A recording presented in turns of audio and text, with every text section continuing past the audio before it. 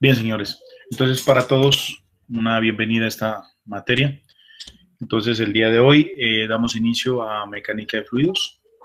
Eh, mucho gusto, señores. Eh, entonces, en este momento, por favor, me confirman. A ver, lo que hemos visto nosotros, ¿cierto? Es lo relacionado con materia, el concepto de fluido, ¿cierto? Que es un fluido. habíamos hablado algo relacionado con los estados de la materia, lo que es sólido, líquido y gas. Creo que sí, ¿no es cierto? Sí, Confírmenme. Vale, listo. Eh, entonces, eh, habíamos hablado también sobre las características o diferencias que había entre los líquidos y los gases, creo, ¿no? Que, por ejemplo, habíamos dicho que los líquidos son incompresibles desde el punto de vista práctico, mientras que los gases decimos que son compresibles.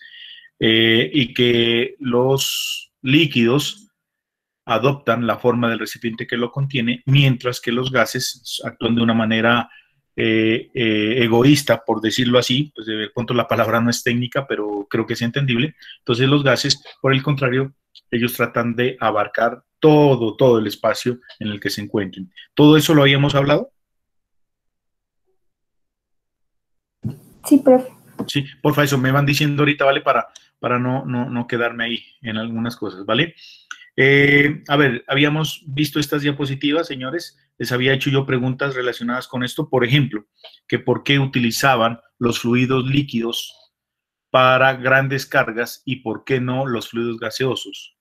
¿Habíamos analizado esa situación?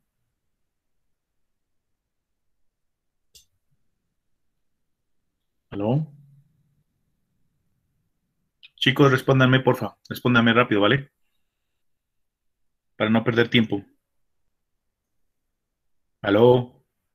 Profe, creo que era que sí, porque se.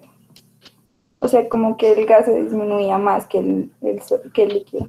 Bueno, listo, entonces. Eh, si no estoy mal, eso de, fluido líquido era para darle más fuerza a las grandes cargas, ¿no? Y, y los gases, como los, los de aire, era para más velocidad, ¿cierto? Perfecto, listo, entonces sí lo hablamos. Muy bien, gracias compañerito, ¿no? Muy amable. Eso, porfa muchachos, eso sí les pido el favor, ¿vale? Respóndanme así rápido y no perdemos tiempo, porque, eh, verán, en esta materia no podemos perder un minuto. En ese sentido les pido ese favor, ¿vale? Cuando iniciemos clase apenas les mande yo el link, ahí mismo, señores, ¿vale? Eh, es porque, repito, la materia está muy, muy, muy es la verdad, incluso me parece que es muy poca las horas que se dan para esta materia, porque es, bastante laborioso lo que hay que aquí trabajar. Bien, señores, eh, hablamos también sobre eso, ¿cierto? ¿Cuál es la diferencia entre masa y peso, ¿cierto? Sí, profe. Sí, profe. Bueno, listo. Eso era un trabajito, pues una pequeña consulta que tenían que hacer ustedes, ¿ya? Yo no me acuerdo si les había mostrado esta, esta, esta imagen que está aquí, pero igual retomemos esta partecita. Entonces decíamos que dentro de las diferencias que existen entre masa y peso son las que ustedes miran ahí. Esta tabla me pareció bien importante. Son bajadas de internet, ¿no? Pero me parece muy importante. Yo no me meto con cualquier información, sino que realmente información pertinente en Internet pues también hay errores y toda esa cuestión, ¿no? Entonces yo trato de analizarlo lo mejor que se, que se, que se encuentra. Entonces, en ese sentido, señores, mm, observen ustedes, ¿no? Por ejemplo, mire qué características y qué diferencias hay entre los conceptos de masa y peso. Entonces, por ejemplo, miren, cuando se habla de masa, primero, estamos refiriéndonos que la masa es la cantidad de materia, ¿cierto? Que tiene un cuerpo, una sustancia. Por el contrario, el peso es una fuerza, es un tipo de fuerza que tiene varios nombres. El nombre más popular es peso, pero más técnicamente se lo conoce como fuerza gravitatoria, fuerza de gravedad, ¿cierto? Eso es el peso. Bueno, ¿qué más podemos decir? Pues mire que la masa, creo que algunos lo, o algunos por ahí lo dijeron, la masa es una magnitud escalar, mientras que el peso es una magnitud vectorial.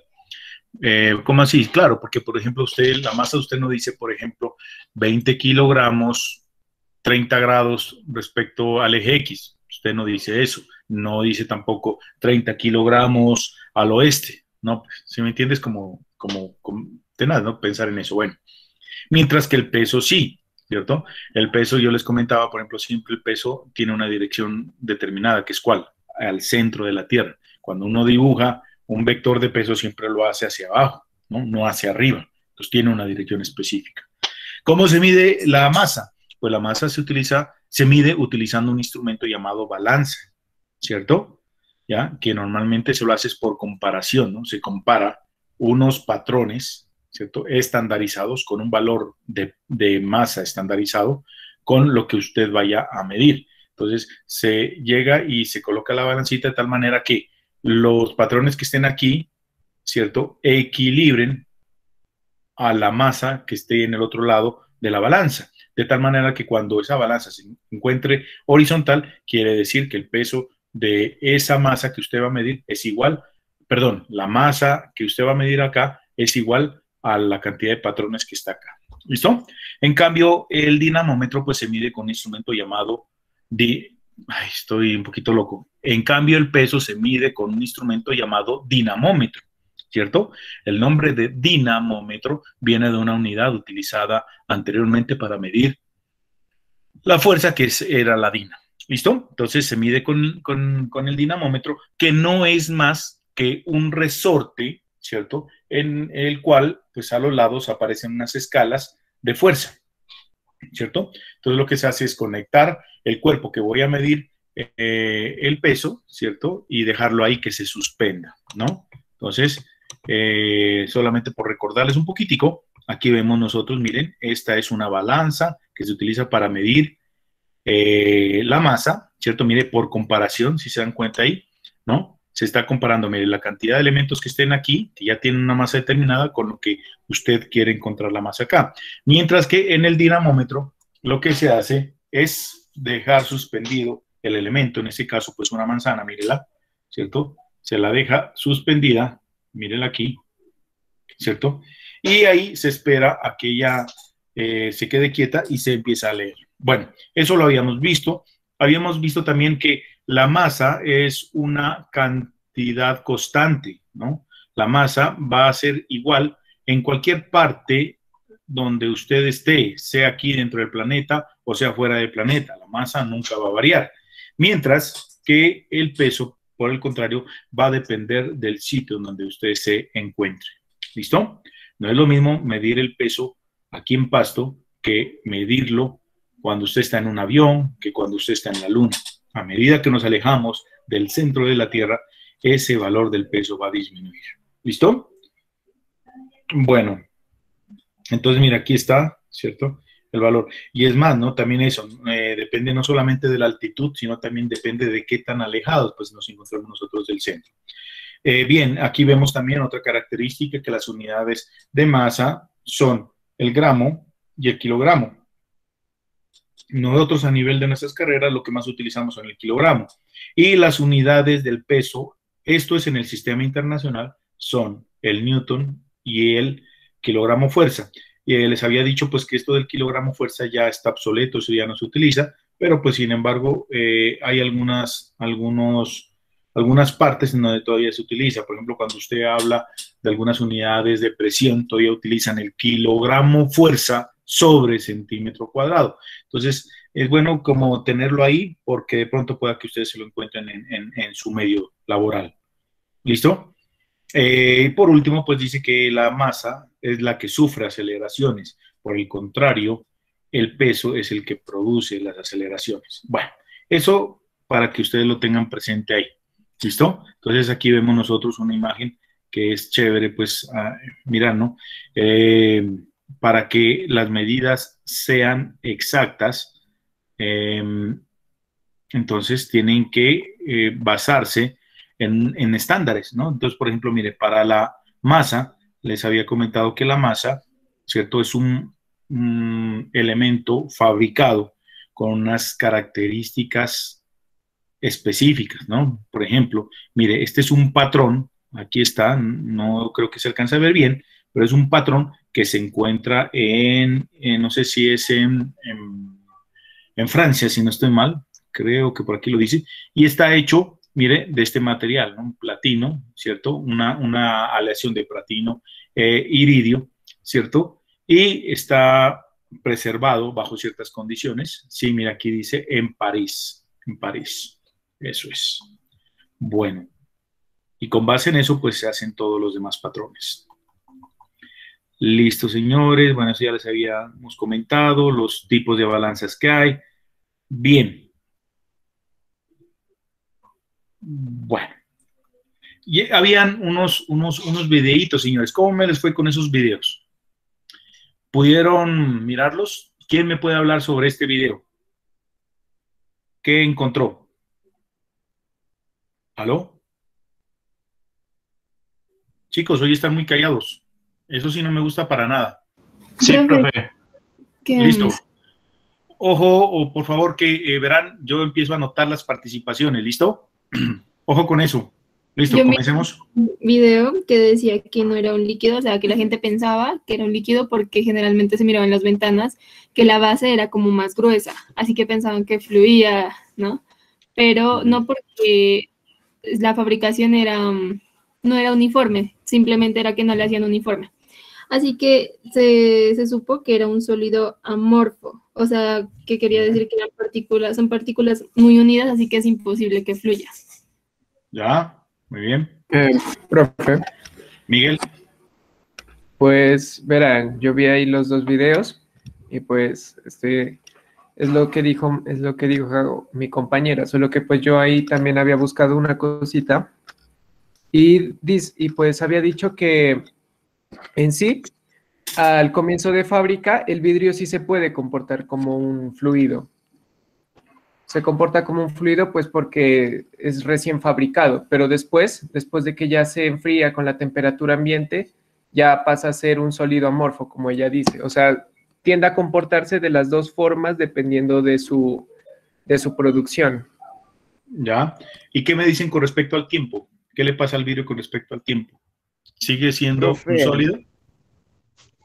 Profe, pues yo escuché que, que, sí se podía comportar como un fluido, pero que, o sea, el tiempo que tardaba en, en notarse a simple vista, pues era, creo que 10 elevado a la 34. 32, que era 34, 32. Ajá. Exacto, sí.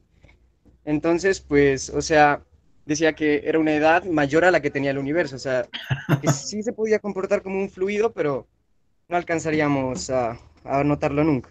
Ajá, a visualizar. y ahí, eh, pues argumentando lo que decía el compañero, haciendo comparación lo de la brea, que daba cada cierto tiempo un número de gotas.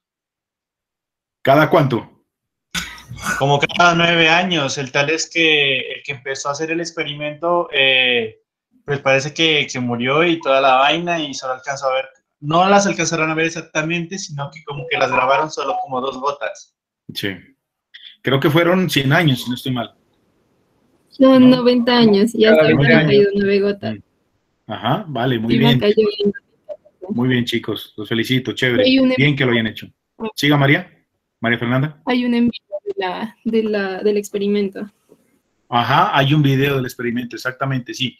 Ahí mismo, en el mismo video, dentro del video, muestran, ¿cierto? Eh, con cámara rápida, creo que es, ¿cierto? Muestran ¿no? las grabaciones que se han venido suscitando desde que comenzó el experimento, ¿cierto? Muy bien, chicos, los felicito por eso. Sigamos. Bien, espero que esto les abra mucho la imaginación, señores, y se pongan a, pensar, ¿no? Miren, por ejemplo, eh, ¿qué podríamos ir diciendo de todo lo que han visto ustedes, de lo que hemos charlado, ¿no?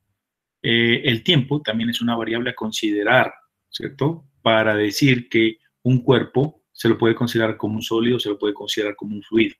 Si se dan cuenta, eh, pues ahí lo acabaron de decir ustedes, miren la brea. La brea en un determinado rango de tiempo normal, pues, digámoslo, se la considera pues como un sólido.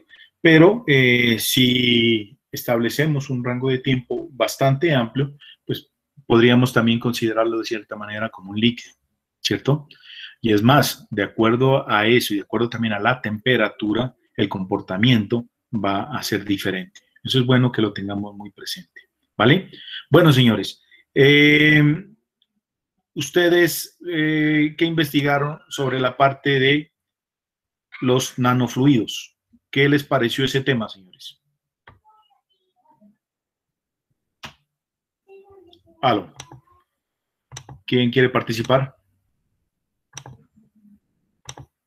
Ah, profe, ahí estaba mencionando sobre Los nanofluidos que los habían creado en una universidad y estaban experimentando con eso y que habían encontrado un fluido que se que era como lo que usted nos dijo, que nos servía para, para que cuando le, para proteger como que la ropa no se manche y eso.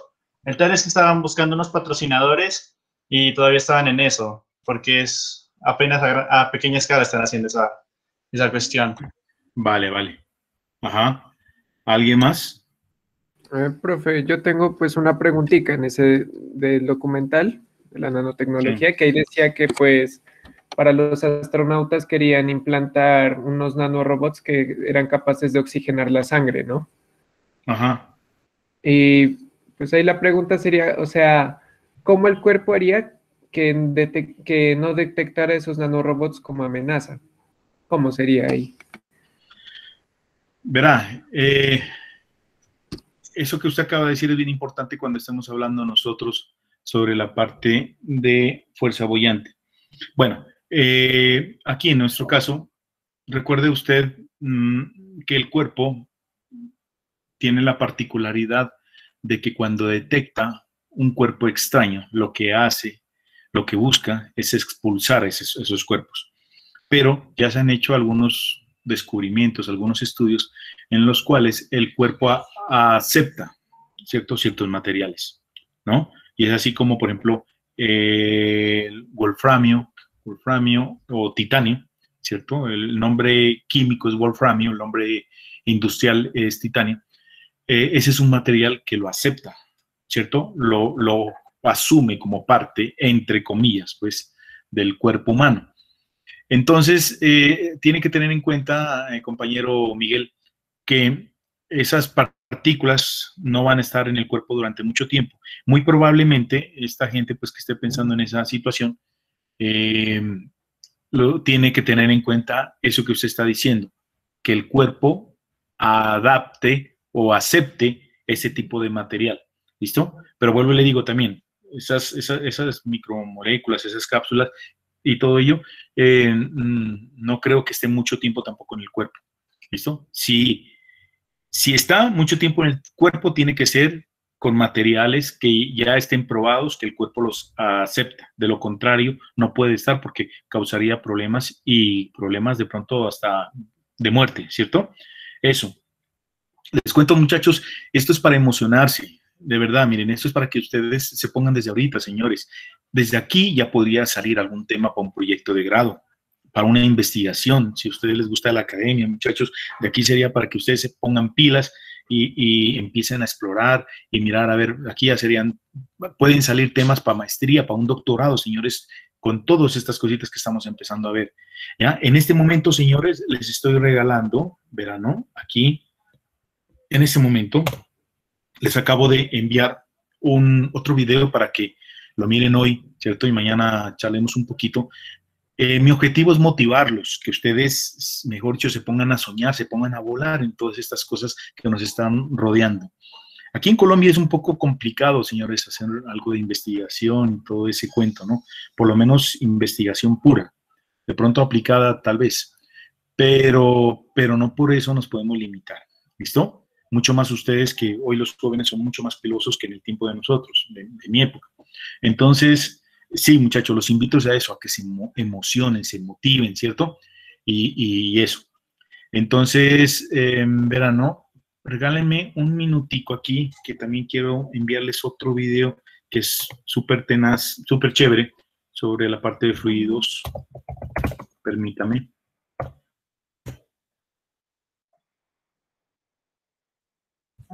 En, España se hicieron un fluido que resiste la temperatura, pero una berraquera, muchachos. Así, en una universidad, ¿ya? Entonces, bueno, ese lo consulto porque ahorita no lo tengo a la mano. Lo consulto y ya se los envío también para que lo, vayan analizando ustedes por allá.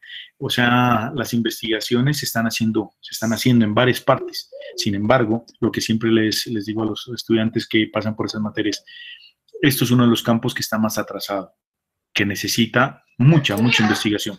a pesar de que hay cosas, pero necesita mucha investigación. Dele, Gabriel, coménteme. Yo también había estado mirando algo de los nanofluidos y dicen que era como un refrigerante y se basaba como en el futuro de la climatización. Eso que decía, que acabo de decir usted que hay esos fluidos que soportan varias temperaturas, solo que aún todavía no lo han puesto a prueba.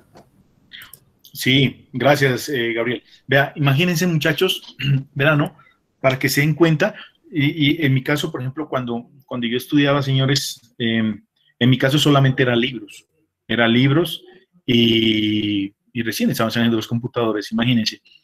Pero yo era un ratón de biblioteca, señores. Ya, yo me la pasaba, era metido ahí, era fascinado, ¿cierto? Y cuando iba, por ejemplo, a los centros comerciales donde habían librerías, era metido ahí, ¿ya? Y como vivía solo allá, pues era feliz yo en eso. Ahorita ustedes, muchachos, con, con, los computadores y toda esa cuestión, muchachos, era para que se la pasen ahí, muchachos, ahí, mirando tantas bellezas, tanta, eh, tantos desarrollos que se están dando, señores, en este, en este instante, ¿no? Eh, les comento, mmm, hay unas cosas que se han hecho, verán, ¿no? Les informo, las, lo que les, les, les, decía, ¿no? Las investigaciones han hecho varias, pero son tan poquitas, señores, ¿no? Que, que la verdad eh, hace falta. Pero verán, dentro de las cosas chéveres, interesantes que se han hecho ahora, ¿no? Eh, por decir algo, se habla mucho de los famosos superconductores, un tema que no, no compete a la materia mecánica de fluidos pero solamente para, para que ustedes se den cuenta, ¿no? Cómo estamos nosotros, qué chévere. Y lo que viene para el futuro en desarrollo tecnológico, científico, es una machera, muchachos. Pero. ¿Qué han hecho ahorita los, los científicos, no? Han logrado llegar y colocar un conductor, imagínense un pedazo de cable, ¿cierto? Enrollado, ¿no?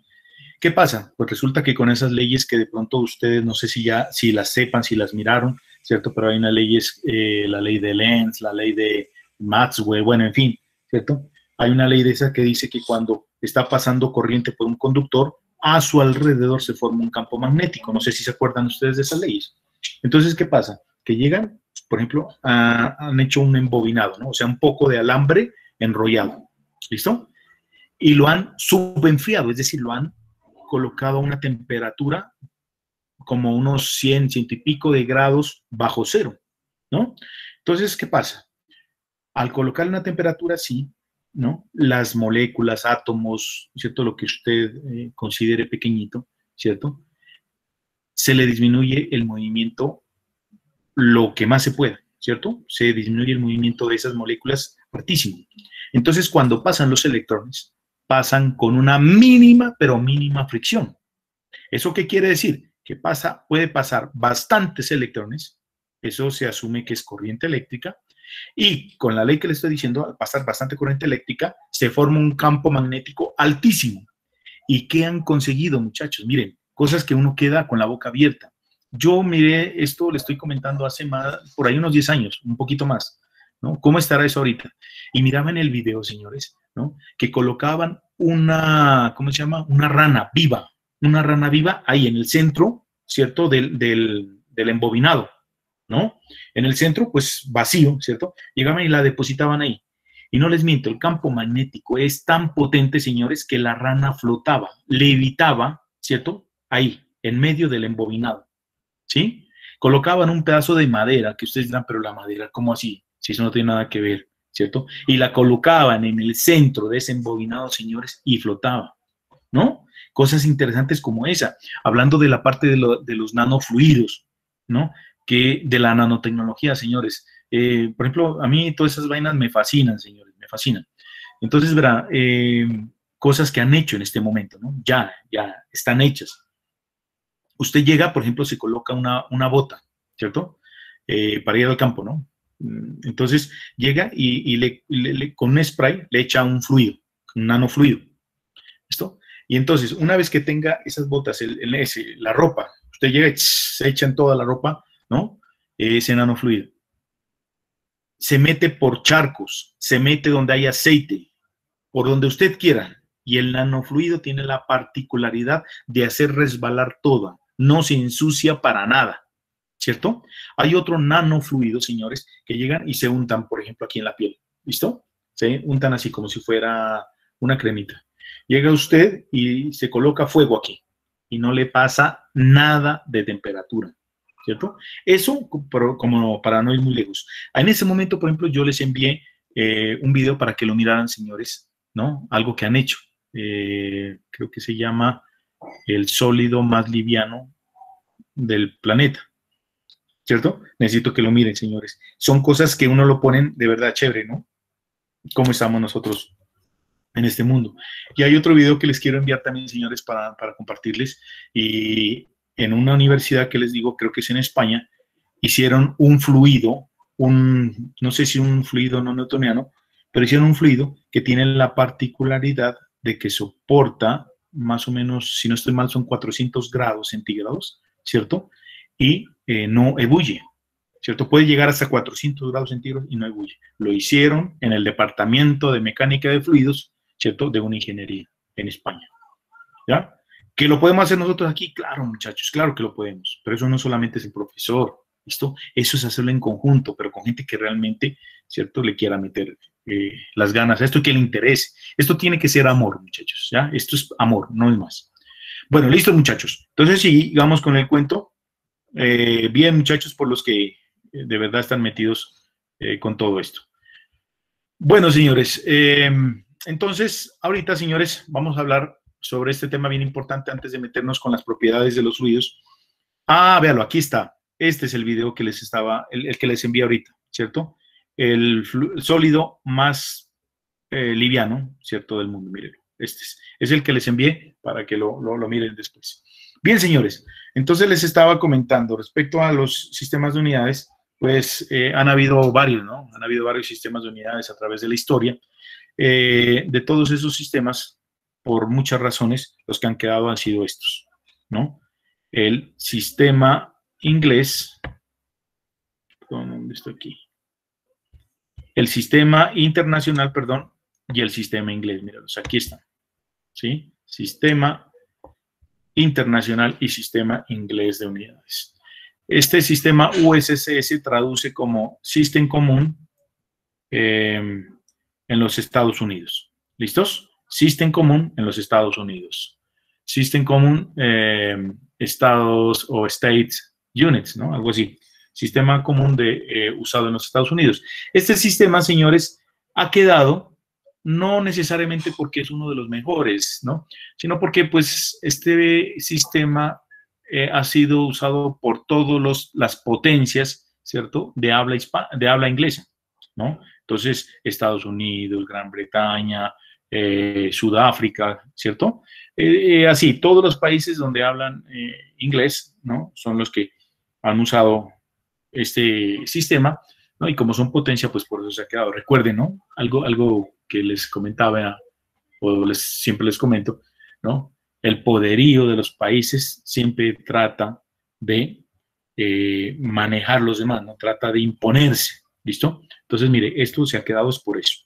Pero el verdadero sistema, el que se va a quedar, señores, va a ser este, el sistema internacional de medidas, que es el que manejamos aquí en Latinoamérica. ¿cierto? Entonces, este es el que en un futuro hasta estos gringos tienen que aceptarlo y este va a ser el que se va a quedar acá, ¿no? Bien, pues resulta, señores, que eh, primero que todo, para hablar de estos sistemas, es importante decir que existen, a nivel de la física, existen varias cantidades o magnitudes, ¿cierto? Físicas, ¿no? ¿Qué es una magnitud o un ejemplo de una magnitud? Entonces, por ejemplo, la longitud. Esas magnitudes se han ido, em, se, les ha, se, les ha, em, se les ha ido dando nombres de acuerdo a la necesidad, ¿no? Y entonces, em, así vemos nosotros, por ejemplo, que aparece una cantidad o magnitud física como la masa, miren, como la longitud, ¿cierto? El tiempo, la fuerza, pero no son las únicas, señores, ¿no? No son las únicas. Mire, magnitudes físicas las que más se utilizan en nuestros campos de las ingenierías en general, ¿cierto? Las que más se utilizan son estas que usted mira aquí en rojo, ¿cierto? Estas, mire, longitud, masa, tiempo, corriente eléctrica, temperatura luminosa, e intensidad luminosa, cantidad de sustancia, pero no son las únicas, repito, hay muchas más, ¿no? Pero estas son las que más se utilizan en la ingeniería en general. Para nosotros, como ingenieros civiles, mecánicos, eh, electromecánicos, mecatrónicos, las que más se suelen utilizar son estas que están aquí. ¿Cierto? Y sobre estas es que usted generalmente trabaja en la mayoría de las asignaturas que mira. Entonces, ¿qué es importante tener en cuenta aquí? Que, eh, repito, por muchas razones, entonces cada quien ha querido establecer sus, sus magnitudes fundamentales o básicas y sus magnitudes derivadas. ¿Qué es eso de una magnitud básica y una magnitud derivada? Pues verán, una magnitud básica o fundamental es aquella que no se deriva de nada, sino que nació. Por ejemplo, eh, alguien miró que era importante hacer mediciones, ¿cierto?, de distancias. Entonces llegó y dijo, bueno, pues para eso tenemos que inventarnos una, una magnitud. Entonces dijeron, bueno, listo, esa magnitud o cantidad física le vamos a denominar longitud.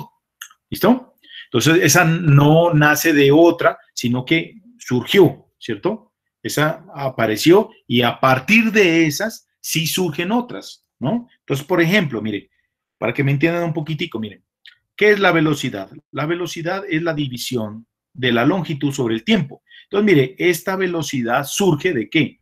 De dividir otras dos. Entonces, esta velocidad se le llama una magnitud derivada, mírenla. ¿Sí se dan cuenta? Otra derivada, ¿cuál? Por ejemplo, miren, la potencia. ¿La potencia qué es? Es el producto de qué? De la fuerza por la velocidad, miren, producto de otras dos magnitudes. Esa no nace sola, sino que surge, ¿cierto? De juntar otras. En cambio, por ejemplo, la longitud no, la longitud sí. Eh, llegaron, como le digo yo, los científicos, los físicos en general, dijeron, no, mire, necesitamos algo, ¿cierto? Para poder representar y poder medir, ¿cierto? Las distancias. Entonces dijo, bueno, hablemos de longitud.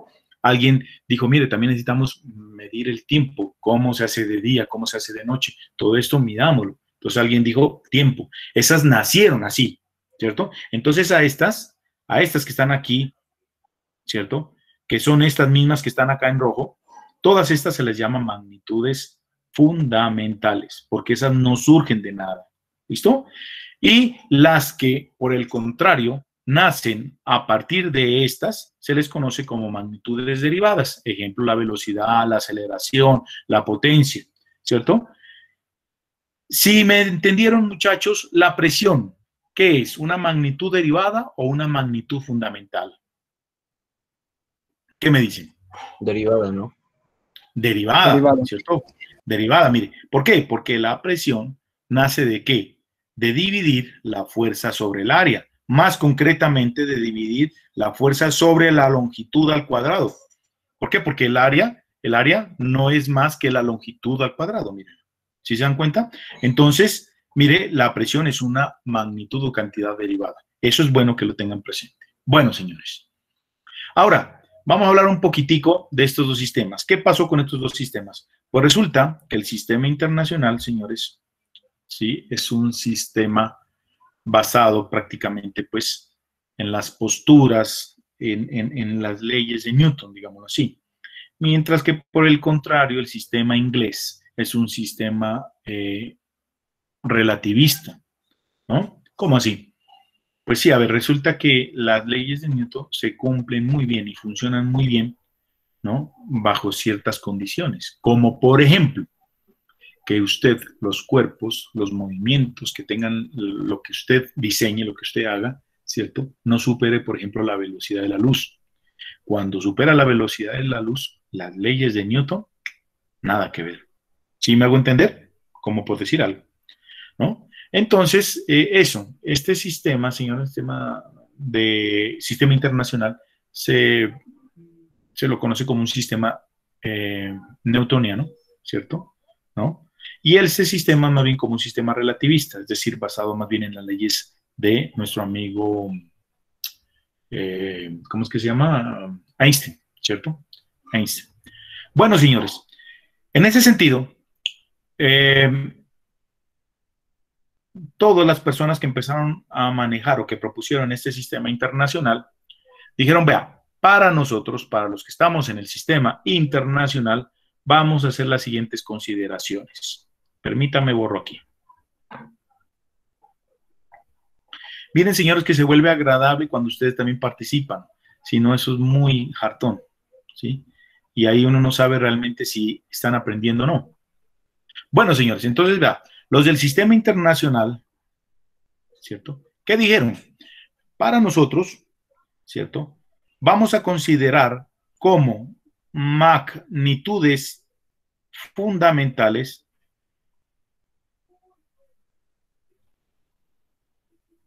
fundamentales, ¿cierto? La masa, la longitud y el tiempo, ¿cierto? Teniendo en cuenta que la masa está dada en kilogramos, el metro, eh, eh, perdón, la longitud en metros y el tiempo en segundos. Entonces ellos dijeron, miren, esas para nosotros se van a considerar como magnitudes fundamentales. Y como ese es un sistema eh, newtoniano, dijeron, mire, apliquemos la segunda ley de Newton, que dice que fuerza es igual a masa por aceleración. Entonces, para ellos, mire, la fuerza, señores, dijeron, la vamos a considerar como una magnitud derivada. Entonces la voy a colocar aquí con otro color. Derivada, mire, los del sistema internacional. Y dijeron, miremos, a ver. Señores, cada vez que nos refiramos a las unidades vamos a colocar la magnitud entre corchetes. ¿Listo? Bueno. Entonces. ¿Qué pasó aquí? Ya. Entonces dijeron ellos.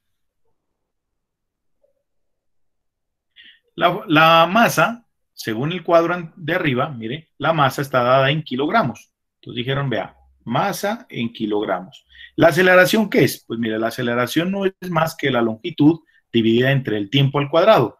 La longitud es una unidad fundamental, el tiempo es una unidad fundamental. Entonces dijeron, mire, la longitud en qué está dada en el sistema internacional, en metros.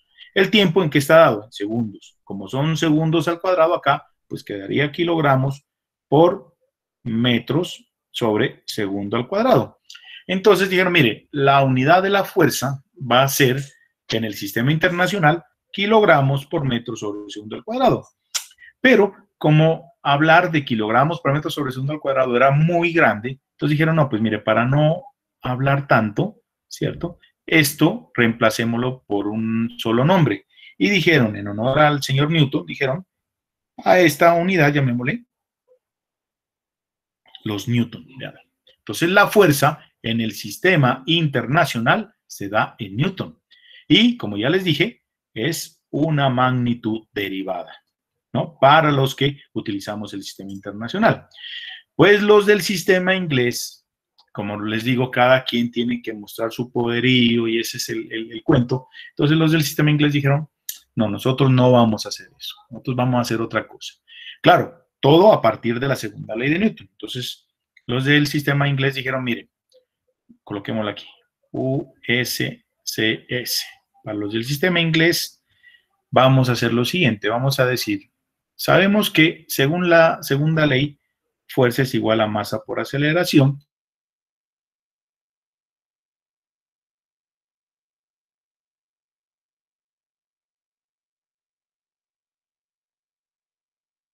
Inglés, para nosotros, las magnitudes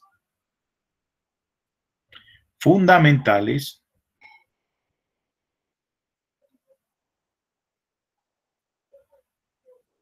van a ser cuáles? Van a ser la fuerza, el tiempo, ¿sí? Fuerza, tiempo y, eh, ¿qué es? y la longitud. ¿Sí? Eso dijeron ellos. Nosotros vamos a considerar la fuerza como una fundamental, el tiempo como fundamental y la longitud como fundamental. Y por el contrario, dijeron ellos, para nosotros, ojo, miren aquí, por eso lo hago con otro color, la masa, señores, la vamos a considerar como una magnitud derivada. ¿Cómo así? Así vamos a hacer nosotros. Entonces dijeron, mire, la longitud la vamos a dar en pies.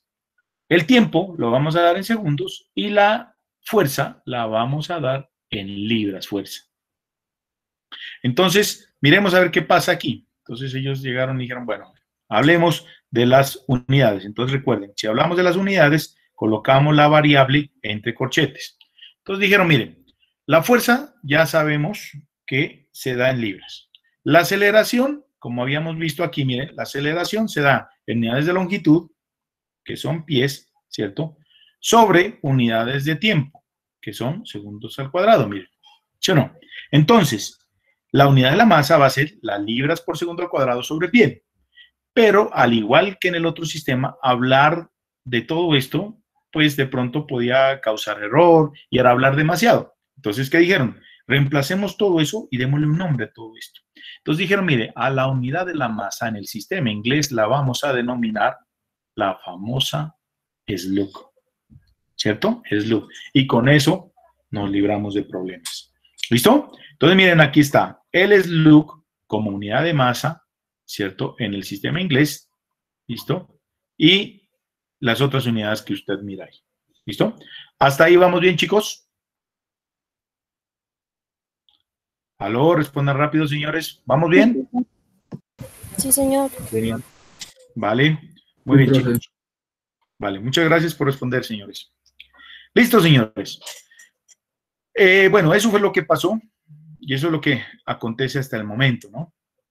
Bien, ahora, ¿qué es importante, señores? Que definamos nosotros cómo hicieron ellos, pues, para trabajar, eh, para darles, pues, valores a estas unidades. Entonces, por ejemplo, solamente traje a colación aquí estas, ¿no? Y así lo demás. Entonces, por ejemplo, el kilogramo, ya lo sabemos, muchachos, es la unidad de masa, ¿no? Entonces, ¿cómo se, eh, cómo se maneja esta parte de la masa? Pues, hombre, se tiene guardado un estándar, un patrón fabricado, ¿cierto? Es un, imagínense ahí, pues un, un cilindro, ¿cierto? Digámoslo ahí, con unas condiciones especiales, guardado en condiciones especiales, y con base en eso ya, pues ahí se sigue todos los patrones que se hagan relacionados con la masa, se tienen que fabricar bajo las mismas condiciones. ¿Listo? Bueno, ¿qué pasó con el segundo? Pues entonces, eh, para medir el tiempo, señores, han habido varias variaciones, perdón la redundancia, ¿no? Discúlpenme por esa combinación de palabras ahí. Entonces, ¿qué pasa? que el, tiempo se lo ha, para poderlo definir, al principio se lo definía de otra manera, ¿no? Eh, y poco a poco lo que se ha buscado es que la definición del tiempo, en este caso el segundo, ¿cierto? Se lo haga lo más exacto posible. No sé si ustedes se han dado cuenta, en los mismos noticieros a veces han sacado noticias relacionadas con esto, ¿no? Eh, por ejemplo, dice en algún momento, miré una noticia por allá que eh, hace ni sé cuántos años, unos, unos 10 años, no sé cuánto, decía, mire, el tiempo se descuadró no sé cuántos segundos, ¿cierto? Segundos o milisegundos, no me acuerdo, ¿cierto? Y todo eso tiene que ver con qué? Con la forma en la que se haya definido el tiempo. Me acuerdo que en mi tiempo había una definición un poquito diferente, no tan exacta como esta. Mire, ahorita el segundo, para poderlo definir, el segundo que usted utiliza, ¿cierto? Se lo hizo de la siguiente manera, mire se miró cuál era la duración, ¿cierto?, de periodos de radiación correspondiente a la transición entre dos niveles hiperfinos, ta, ta, ta. ¿Listo? De un átomo específicamente, de un material eh, específico, de un átomo de cesio. ¿Por qué de ese átomo? Bueno, de pronto ellos habrán analizado, ¿cierto?, que ese periodo en el tiempo era un periodo constante, que no tenía variaciones, ¿ya? Si lo hacían de pronto con un átomo diferente, por ejemplo, de plomo o, bueno, de otro material diferente, de pronto, ¿cierto? Esa duración, ¿no? Variaba y de pronto variaba mucho, bueno, en fin, ¿no? Entonces, eso, eso, eso ya es algo que lo hicieron a nivel ya de eh, nano, lo que estamos hablando, ¿no? Nanotecnología y todo ese cuento. Entonces, miren, el segundo se definió así, ¿sí? El, el el, la longitud para medir el metro, ¿cómo se hizo para medir eh, para definir un metro, el metro que usted conoce? ¿Cómo se hizo? Verán, en mi tiempo me acuerdo que la definición que había, repito, no era tan exacta, se decía que el metro era no sé cuántas partes de la circunferencia, ¿cierto? De que rodea a la Tierra, al planeta Tierra, ¿no? Era ni se, la ni se cuantaba parte de la circunferencia que rodea a la Tierra. Bueno, pues resulta, repito, que eso no era una definición como tan exacta, sino más bien precisa. Y entonces, mire, ahora ya se cambió por esto, mire, se hicieron pruebas y con esto se obtiene una mejor, un mejor valor de lo que es un metro. Entonces dice que el metro es la longitud recorrida por una onda de luz, ¿cierto? La longitud de una onda de luz en el vacío, ¿no? En este periodo de tiempo. ¿Ya? Y ahí ya se tiene un, valor exacto. Entonces ya sabe que de ahí en adelante todos los patrones, ¿cierto? Ya se los hace considerando esa definición. ¿Y qué es la fuerza?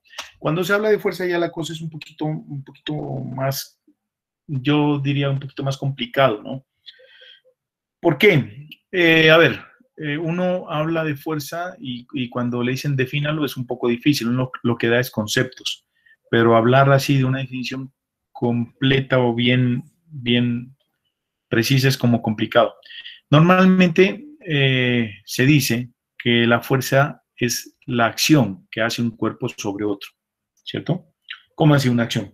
Claro, mire, o sea, yo el hecho de tocar esta palma con esta, ahí solamente con tocarle yo estoy haciendo una, acción. Pero hasta ahí, ¿cierto? Es algo incompleta. Entonces, miren, esa que yo, que, que me encontré que me pareció muy chévere, ¿no? Se dice que la fuerza es toda acción capaz de producir dos cosas, cualquiera de las dos. Una, capaz de producir cambios en el movimiento de un cuerpo. Entonces llegué yo, tengo este carro, supongamos, le apliqué, esta, este estaba en movimiento, le apliqué una fuerza aquí, ¿cierto? Por ejemplo, para frenarlo, y ¿qué ocasioné? Que se vaya disminuyendo la velocidad. Listo. Fuerza también se dice que es la acción capaz de producir, ¿cierto? Un cambio en la estructura de un cuerpo. ¿Cómo así? Eh, por aquí tenía, hombre, que me lo han cogido, hombre. Bueno, eh, por ejemplo, por ejemplo, por ejemplo, ¿qué les digo? Aquí tenemos nosotros, ¿cierto? Una viga, supóngase, ¿sí? Entonces, llego yo, la coloco aquí entre dos soportes, ¿cierto? Y le aplico una fuerza aquí, ¿no? Entonces, internamente, señores, ¿qué le va a pasar? Interna y externamente, supóngase que esto es de plástico, ¿qué va a pasar? Que esto se va a deflectar, ¿cierto? Se va a flexionar. ¿Ok? Cuando pase eso, pues si se dan cuenta, internamente también hay un cambio en su estructura.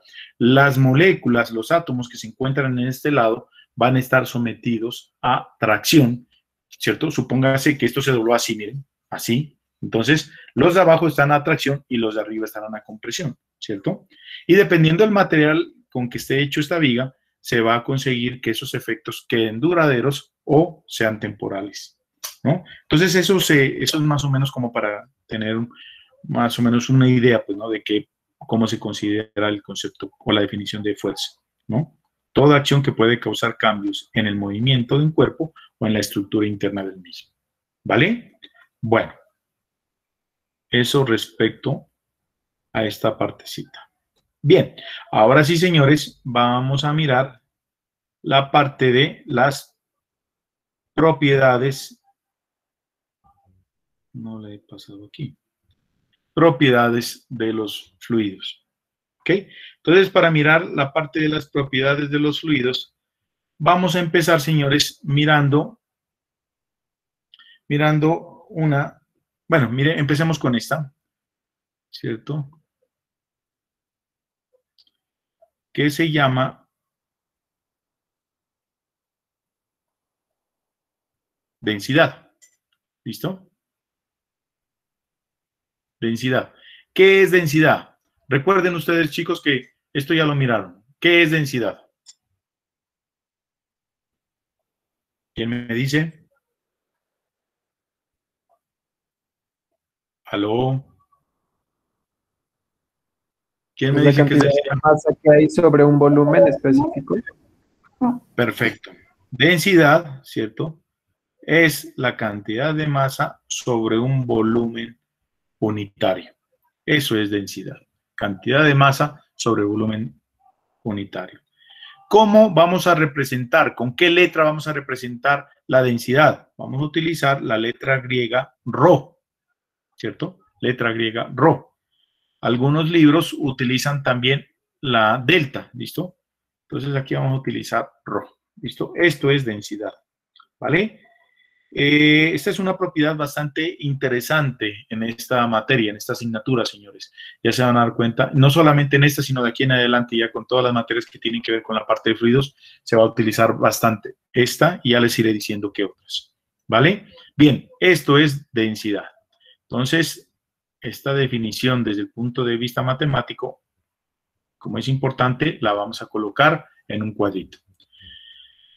Eh, vamos a mirar también lo que es el peso específico.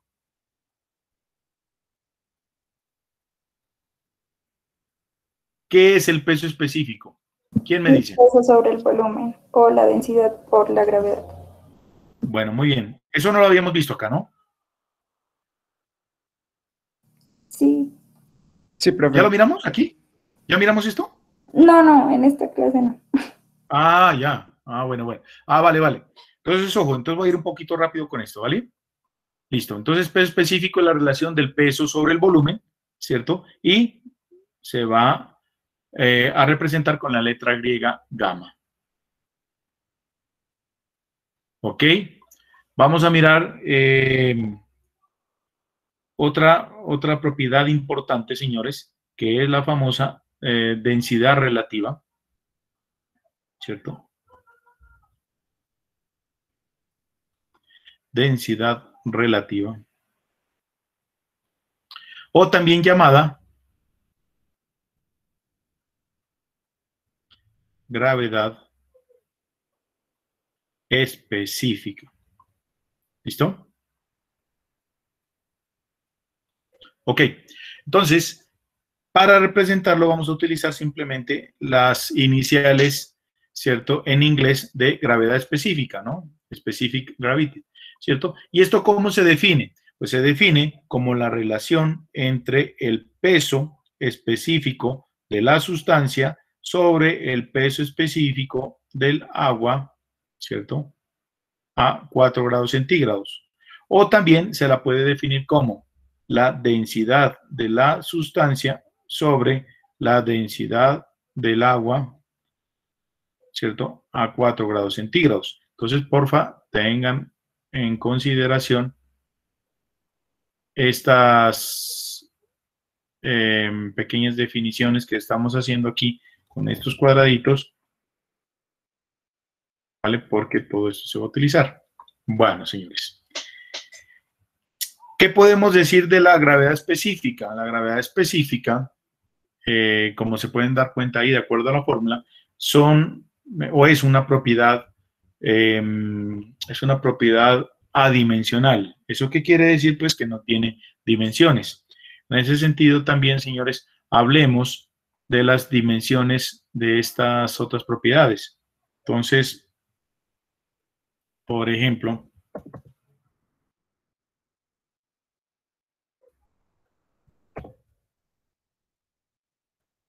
ahí está, hablemos de estas dimensiones aquí.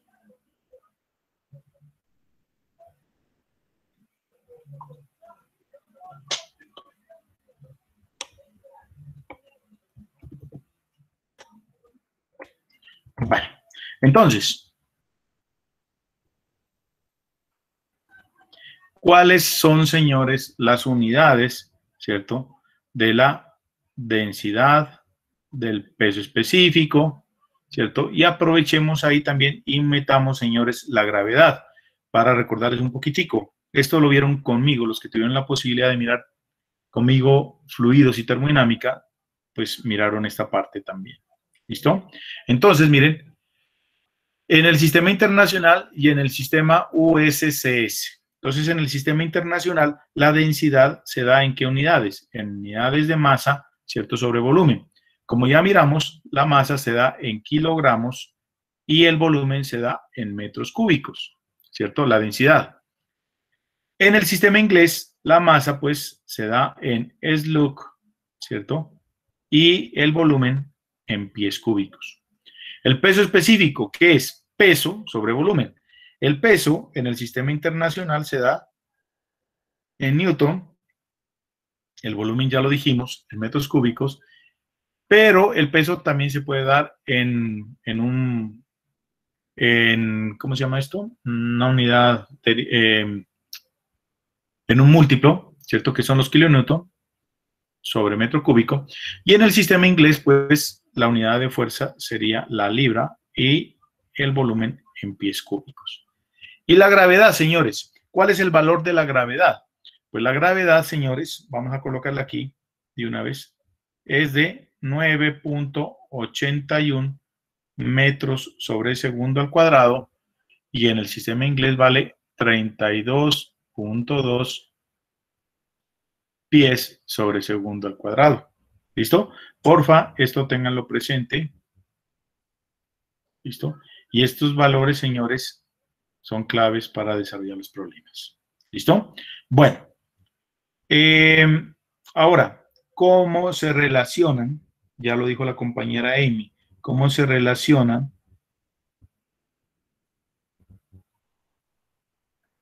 ¿Sí? La densidad con el volumen. Perdón, la densidad con el peso específico. Entonces, la forma de relacionar la densidad con el peso específico es la siguiente. Usted puede partir de la densidad o puede partir del peso específico. Si partimos de la densidad, decimos que la densidad es la división de la masa sobre el volumen. ¿Qué pasa, señores, si yo divido arriba entre la gravedad y abajo entre la gravedad? Pues obtengo, ¿cierto? Masa por gravedad, ¿cierto? Mire, aplicando extremos y medios, y aquí obtengo volumen por gravedad. ¿Qué es masa por gravedad? pues masa por gravedad es peso y abajo volumen por gravedad. ¿Qué es peso sobre volumen? Mire, peso sobre volumen, peso sobre volumen, véalo aquí, ¿cierto? Es peso específico arriba y abajo que me quedó gravedad. ¿Qué es todo esto? Esto es densidad. Esto es densidad. Entonces, ¿cómo se relaciona la densidad con el peso específico? Diciendo que el peso específico es el producto de la densidad por la gravedad. ¿Listo? Entonces, porfa, muchachos, vuelvan a guardar estas ecuaciones, ¿vale? Vuélvanlas a guardar. ¿Ok? Bueno, señores. A continuación, vamos a mirar aquí otras propiedades que son de igual importancia.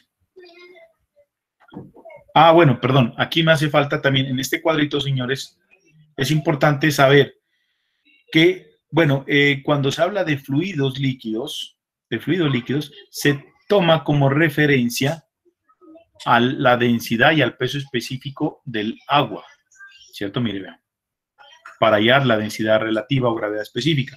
Pero si estuviéramos hablando de gases, esta misma eh, fórmula sirve pero ya no se habla del peso específico del agua ni de la densidad del agua, sino que se considera en ese caso es el gas más abundante, más bien la mezcla de gases más abundante, que es el aire. Entonces se habla aquí del peso específico del aire y aquí de la densidad del aire.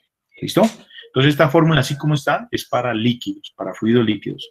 Entonces, ¿cuánto vale el peso específico aquí? peso específico del agua, peso específico del agua y la densidad del agua, ¿cierto? En el sistema internacional y en el sistema inglés. Entonces, en el sistema internacional, para recordarles, peso específico vale 9.81 kilonewton metro cúbico y en el sistema inglés vale. ¿Quién me dice cuánto vale, muchachos? El peso específico del agua.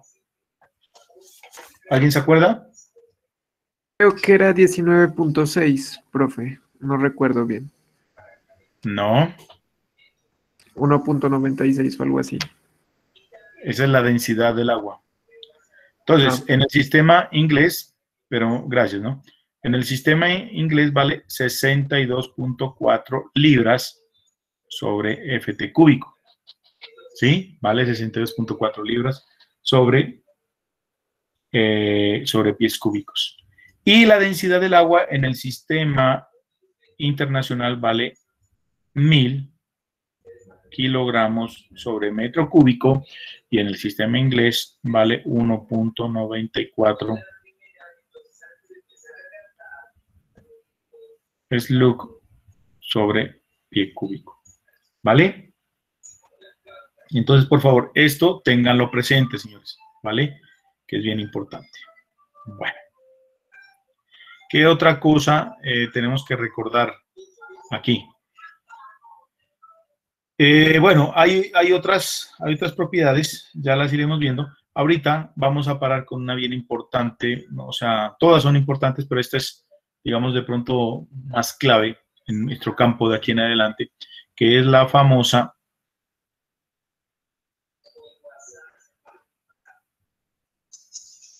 viscosidad. La viscosidad de los fluidos. ¿Qué es eso de viscosidad? ¿Quién me puede decir, muchachos, qué es la viscosidad? La medida de resistencia al flujo. La medida de resistencia al flujo, correcto. Muy bien, muy bien. A veces es un poco difícil, ¿no? Eh, definir algo, ¿no? Decir, vea, eh, eh, tal cosa es esto, es un poquito difícil. Ah, pero, pero, por ejemplo, se facilita mucho cuando uno coloca ejemplos, ¿cierto? Entonces, por ejemplo, yo normalmente cuando les los oriento en estos temas, y luego les digo, bueno, señores, tengo aquí dos vasos, el uno es del agua y el otro es de eh, miel. Voy a derramarlos, ¿cierto? Entonces, ahí vamos a mirar dos cosas. La primera, ¿cuál consideran ustedes que tiene mayor viscosidad? Todo el mundo va a decir, listo, miren, eh, la miel, ¿cierto? ¿Por qué? La segunda, la segunda pregunta, ¿por qué? ¿No? Entonces, si analizamos, la miel se demora más en caer que el agua. Cuando usted está echando agua, eh, está derramando el agua, de una, apenas lo voltea, ella comienza a derramarse. La miel, ¿cierto? Usted voltea el, vasito, ¿no? Pero ella no se derrama de una. Dependiendo, pues, de la misma viscosidad que tenga, pues, se va a demorar. ¿Listo? Entonces, miren, la velocidad con que un fluido se derrame en este caso, o se desplace en términos generales, es un signo de la viscosidad de ese fluido, la velocidad con la que se desplace. ¿Listo? Eso es. Y ya siendo más técnicos, es lo que dijo, no sé si fue una compañerita la que habló ahora de rato. Entonces, la viscosidad se define, es eso, es como la oposición que sus moléculas, o sea, las moléculas del fluido, ejercen al movimiento del fluido como tal, la oposición. En otras palabras, la viscosidad, señores, hace el mismo papel de la fricción, ¿sí? De la fricción o de la fuerza de flotabilidad, ¿no? Hace, perdón, ¿qué estoy diciendo? De la fricción o de la eh, fuerza de rozamiento, ¿cierto? ¿Qué hace la fuerza de rozamiento? Entonces, la fuerza de rozamiento, la fuerza de rozamiento llega y usted tiene aquí, por ejemplo, un recipiente, perdón, un bloque, ¿cierto? ¿Ya?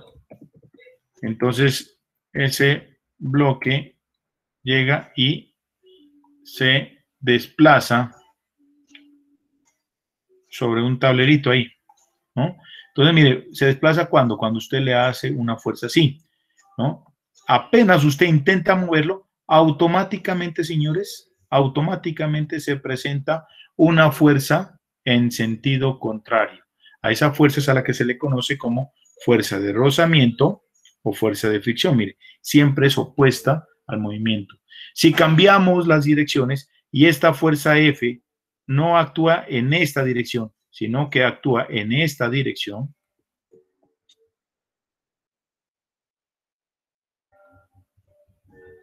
¿cierto? Entonces, la fuerza de fricción también cambia su dirección, ¿cierto? La fuerza de fricción, mire, actuaría, ¿cierto? En este otro sentido. ¿Ok? Entonces, siempre la fuerza de fricción lo que hace es llevarle la contraria. Es como en esos matrimonios, siempre coloco estos ejemplos un poco graciosos, pero con respeto. Eh, en esos matrimonios que ya llevan tiempito, ¿no? Entonces, el señor quiere irse para un lado, llega la señora y le dice, no, pues para allá no nos vamos, nos vamos para el otro lado. Siempre llevarle la contraria. Esa es la fuerza de fricción, ¿cierto? En ese mismo sentido, señores, podemos explicar la viscosidad. Entonces, llegamos y tenemos nosotros aquí una jarrita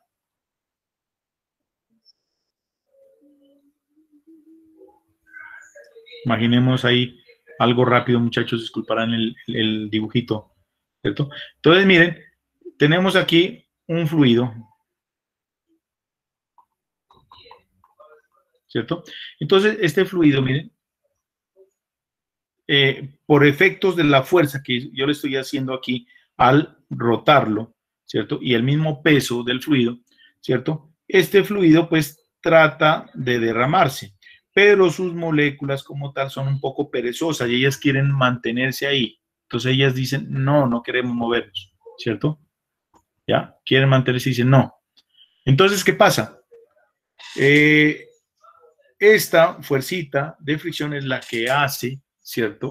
Que esto se derrame más rápido, se derrame más lento. Y esta fuerza de fricción acá es lo que acá en los sólidos llamamos eh, bueno, perdón, fuerza de fricción o fuerza de rozamiento, acá se llama viscosidad, ¿listo? En, los líquidos, ¿ok?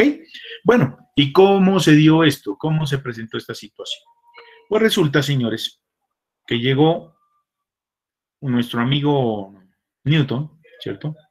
Y nuestro amigo hizo el siguiente experimento.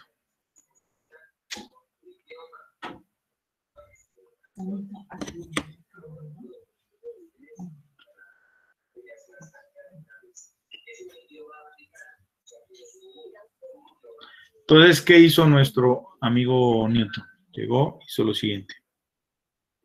Colocó ahí dos placas, ¿cierto? Dos plaquitas. La una llegó y la, la, la dejó quieta, la soldó, digámoslo así. Yo estoy representando que la soldó con estas linecitas la colocó fija, muchachos, ¿cierto?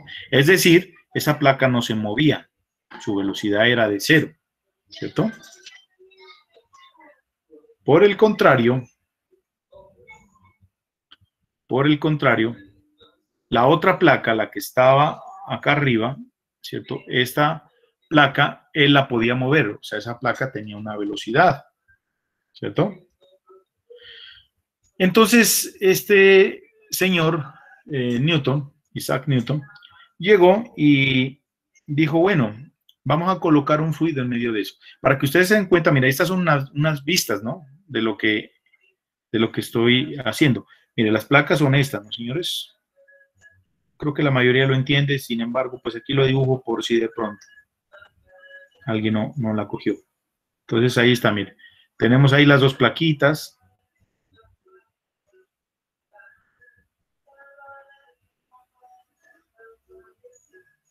¿Listo? ¿Y qué hizo nuestro amigo Newton? Pues, hombre, en medio de las dos plaquitas, llegó y colocó, ¿cierto? Un fluido. Imaginémonos que era agua. Entonces llegó él, y colocó agua aquí, ¿cierto? ¿No? Y él observó mm, las siguientes situaciones. La primera, que si nosotros analizamos, por ejemplo, voy a hacer una linecita aquí. ¿Sí? Y si nosotros miramos parte del fluido que estaba en contacto con esta placa que está aquí, mire, este fluido que estaba aquí, iba a tener la misma velocidad de la placa. En este caso, como este, esta placa está quieta, eh, el fluido que estaba en contacto aquí con esta placa tenía velocidad cero, o sea, no se movía, ¿cierto? Pero también observó, ¿cierto?, que a medida que el fluido se alejaba de esta placa que estaba quieta, ¿sí? Miren, a medida que el fluido se alejaba de esta placa, iba a tener aquí velocidades ya. La velocidad se iba incrementando, miren. Entre más se alejaba, ¿cierto? Se, su velocidad se incrementaba. Entonces, por ejemplo, mire, aquí, por ejemplo, había una velocidad V1. Y esta velocidad él llegaba y la tomaba, por ejemplo, a una distancia Y1, mírenla, ¿cierto?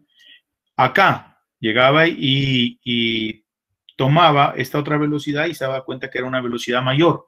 Esta velocidad la tomaba a una distancia Y2. Asimismo, señores, él siguió haciendo el análisis, ¿cierto? Y obtuvo el perfil de velocidades representado aquí con este triangulito, llegando pues a la conclusión que el fluido que estaba en contacto con esta placa que está en movimiento, señores, ¿cierto? Pues ese fluido iba a tener la velocidad B, es decir, la velocidad de la placa, mírenla. se dan cuenta? ¿Listo? Y él también observó, señores, que eso pasaba, ¿por qué? Porque el fluido que se encontraba en medio de esas placas se comportaba como si estuviera formado por pequeñas láminas, ¿cierto? Mírenla, por pequeñas láminas. Entonces él dijo, mire, es que aquí la cosa es que es así. Permítame, a ver, vamos a hacer lo siguiente.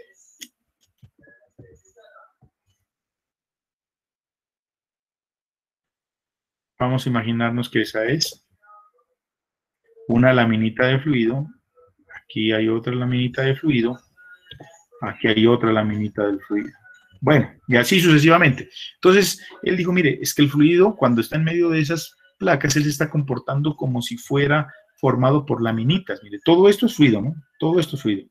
¿Listo? Pero se comportaba así. Y él se puso a hacer varios experimentos y a tomar datos y se dio cuenta que eso pasaba, ¿por qué? Porque cuando se aplicaba una fuerza sobre esta placa, inmediatamente, señores, ¿cierto? Dentro del fluido se presentaban unos esfuerzos llamados esfuerzos de corte o tangenciales, ¿cierto? Apenas él hacía una fuerza, mire, así, interiormente en el fluido se eh, presentaban esos esfuerzos que hacían que el fluido se comportara como si se estuviera formada por esas, eh, por esas laminitas. ¿Listo? Como ustedes sabrán, los esfuerzos de corte, ¿no? Eh, em, se presentan de esa manera. Es decir, llega a un cuerpo, ¿cierto? Cuando se habla de esfuerzos de corte, lo que hace el esfuerzo es que trata de cortar al cuerpo. ¿Cómo así? Sí, mire, si yo aplico una fuercita aquí, ¿cierto? Lo que hago yo es tratar de cortar este cuerpo de esta manera, mire. Entonces, trata de separar a este cuerpo verde en dos cuerpos, ¿cierto? De esa manera, ¿listo? Y entonces, esta fuercita que está aquí, que actúa sobre esta área roja, ¿cierto? A eso es lo que se conoce como el esfuerzo de corte, fuerza sobre área. ¿Listo, señores? Bueno. Entonces, él, después de esa observación, llegó a la siguiente conclusión. Él dijo, miren, señores, el esfuerzo de corte es directamente proporcional a la variación de la velocidad con respecto a la posición. Miren, lo que estamos haciendo aquí, miren, ¿cierto? La velocidad variaba respecto a la posición, mire, variaba respecto a la posición. Esto, como se hizo a nivel pequeño, y obviamente pues él no se puso a medir ahí, porque pues si ahorita es difícil hacer eso, mucho más en el tiempo de él. Pero todo eso lo dedujo él con experimentos, ¿cierto? Con datos que tomó en términos generales. Entonces, esto ya haciendo un análisis matemático, pues, ¿cierto? Esto es lo mismo que decir esto, ¿no? A nivel atómico, decimos que el esfuerzo, pues, era proporcional a ese cambio de velocidad con respecto a ese cambio de posición, ¿cierto? Y a este, a esta fracción que está aquí, señores, se la conoce normalmente como un gradiente. Y se le da el nombre de gradiente de quién? De la velocidad. Gradiente de velocidad. ¿Listo, chicos? Gradiente de velocidad. Pues bien, señores, esta proporción, ¿cierto? Para, para tener como más validez para nosotros en ingeniería, ¿cierto? Esta proporción se la pasa a una igualdad. Y para pasar una proporción a una igualdad, ¿qué es lo que hacemos? Llegamos y decimos tau, aquí decimos delta B sobre delta Y. Entonces, ojo, para pasar esta proporción a una igualdad le colocamos pues el igual. Pero no es solamente el igual, sino que tenemos que colocarle una constante. Se llama constante de proporcionalidad, ¿cierto? Y entonces ahí ya tiene mucha más validez para nosotros como ingenieros. Y a esta ecuación que ustedes miran aquí es lo que se le conoce como la famosa ley de la viscosidad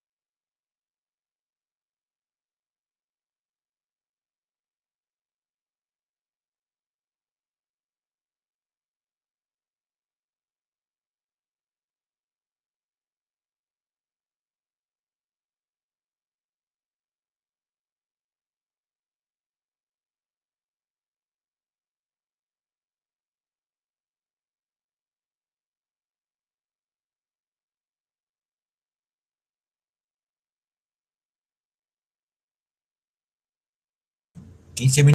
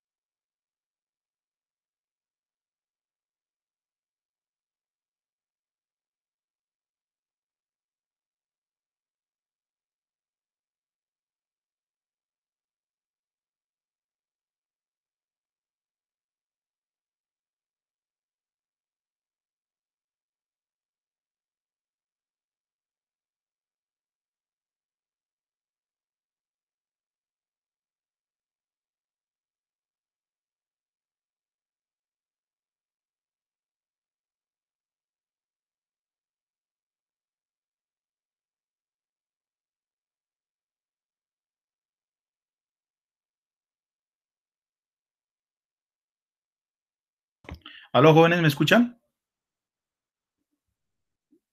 ¿Aló? Sí, profe, sí se escucha. Sí, Bueno, vale, muchachos, gracias por esperar, ¿vale? Eh, miren, no sé, no sé si sería problema de aquí del servidor o será problema del barrio, pero, pero bueno, ya gracias a Dios ya, ya, ya me conecté. Eh, bueno, ahí sigue grabando. Listo, señores. Entonces, eh, les estaba comentando habíamos quedado en esta parte aquí. No sé hasta qué parte me escucharon, vuelvo a repetir de manera rápida esta, esta, esta, esta partecita de aquí. Les estaba diciendo que este que la, la, la que se llama la ecuación en donde Newton descubrió que el esfuerzo era directamente proporcional a la velocidad con respecto a la posición, ¿cierto? Analizándolo a nivel ya molecular, es decir, eh, eh, imaginándonos, pues. No, no está compartiendo pantalla, qué pena. Ah, vale, vale, vale, gracias. Gracias. ¿Ahí sí? Sí, profe, ya. Sí, vale. Listo. Entonces, miren, si lo analizamos ya a nivel, mm, pues bien pequeñito, señores, entonces no hablamos de velocidad, no hablamos de, de longitud, sino hablamos de una variación de velocidad y una variación de longitud. ¿Listo? Decía pues que este, esta fracción es lo que se conoce normalmente como un gradiente de velocidad, ¿cierto? Y por último, pues decimos que esta proporción que encontró nuestro amigo Newton a nosotros como ingenieros nos interesa cuando se convierte en una igualdad. ¿Y cómo se convierte en una igualdad? Cambiando este signo de proporción por el signo del igual, obviamente, pero cada vez que se hace eso, obligatoriamente tenemos que adicionarle una constante, ¿cierto? Entonces, esta proporción ya convertida en ecuación es la que ustedes mira aquí encerrada y a esto es a lo que se le conoce como la famosa ley de la viscosidad de Newton. Y a esta eh, variable que tuvimos que incluirla aquí es a la que se le llama la viscosidad, ¿cierto? La cual recibe tres nombres diferentes, ¿no? Simplemente viscosidad, viscosidad absoluta o viscosidad dinámica. ¿Listo? Para que ustedes lo tengan en cuenta. ¿Qué más hay que analizar aquí? Que pues esa, eh, esa viscosidad, como es una propiedad, es única de cada uno de los fluidos, ¿cierto? Es única y eso quiere decir pues que eh, a través de esta propiedad, como lo, es también la densidad, el peso específico, eh, usted puede ya saber específicamente qué fluido es una vez que usted obtenga el valor de esta viscosidad. ¿Listo? Usted con ese dato ya puede definir, si no conociera un fluido y usted tuviera la posibilidad de conocer este valor, podría decir, ah, mire, esto es aceite, esto es gasolina, bueno, en fin. ¿Listo? Bueno, esto, repito, es de pronto de las propiedades más importantes de aquí en adelante. Esto, la densidad, entre otras. Bueno, em, en este sentido, señores, vamos nosotros a resolver unos ejercicios relacionados con este tema, ¿vale? Entonces, el primer ejercicio, pondrán mucha atención, porfa, necesito que me colaboren aquí, eh, unas tres personas. Eh, necesito, por favor, que el amigo Miguel Ángel, la compañera Amy, la compañera Ángela, porfa, me den la mano con las calculadoras, ¿vale? Necesito aquí también, a ver, la compañera Valeria Sofía. ¿Me colaboran con sus calculadoras? ¿Listo? Cuento con ustedes, ¿listo? ¿Aló? ¿Aló, chicos? Sí, profe. Listo, profe. Vale, vale. Listo, listo. Ok. Chicos, si se llega a ir otra vez a internet, mm, les pido el favor, inmediatamente me llaman, ¿vale? Para no, no seguir hablando aquí solo. ¿Listo? Bueno, señores, entonces el problema es el siguiente, miren. Tenemos nosotros aquí un cilindro, como lo pueden ver ustedes, un cilindro hueco, mírenlo, ¿cierto? Este es un anillo, pues digámoslo así, ¿cierto? Que se lo llama también camisa, ¿listo? Y dentro de esa camisa hay un ejecito, el cual, ¿cierto? Se pretende rotarlo, girarlo, ¿sí? Entonces, en medio del eje y la camisa hay un espacio, mírenlo aquí, lo vamos a colocar de otro color, miren. hay un espacio, ¿cierto? Mírenlo.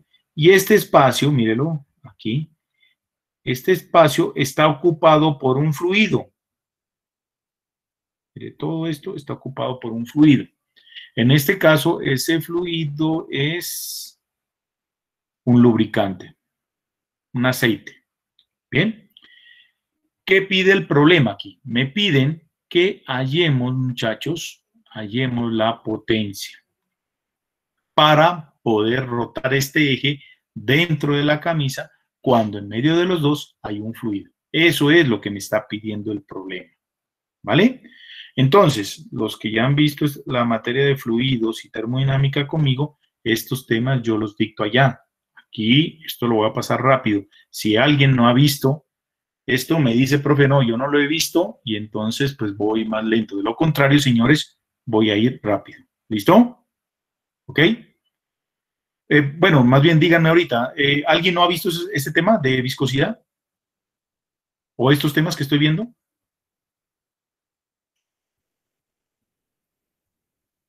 ¿O sí los han visto, señores? Sí, profe. ¿Sí los han visto? Listo. Entonces voy a ir rápido, ¿no? Voy a ir un poquito rápido, pues. Bien, señores. Entonces decíamos,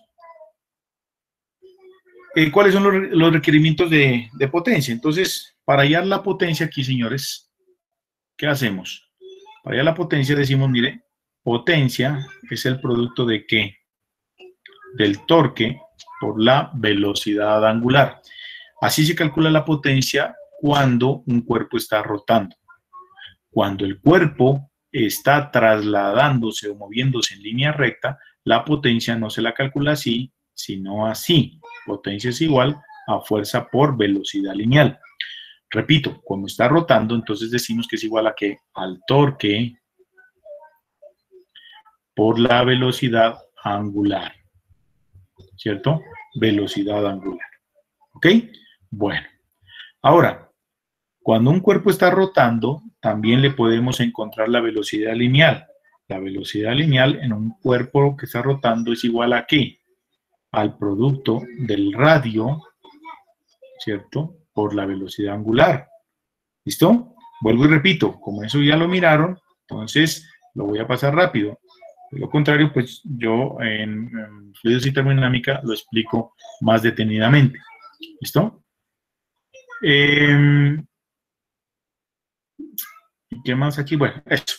Entonces, ahora, nosotros, bueno, el problema nos está pidiendo que calculemos la potencia. ¿Qué tenemos de datos conocidos? Entonces, observemos aquí que dice que el eje lubricado está rotando dentro de la camisa, ¿cierto? de una camisa concéntrica a una velocidad angular de 1200 RPM. Entonces decimos que la velocidad angular es de 1200 revoluciones por minuto. La luz, ojo con, este, con esta palabrita, la luz delta es la distancia que está ocupando el fluido o la separación que hay entre el eje y la camisa. Entonces, esa luz que en la ecuación de Newton se la llama D, ¿cierto? Es igual a qué? Aquí está, es igual a 0,1 milímetros. ¿Listo? Bien, ahora, ¿qué dice? Eh, suponiendo una distribución lineal de la velocidad en el lubricante, ahí es la potencia para rotar el eje. Considerando, mire, vea que el radio, señores, el radio del eje es igual a qué? A 2 centímetros.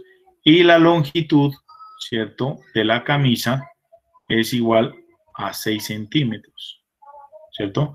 Me están dando que la viscosidad de ese aceite lubricante tiene un valor de 0.2 newton sobre metro cuadrado por segundo.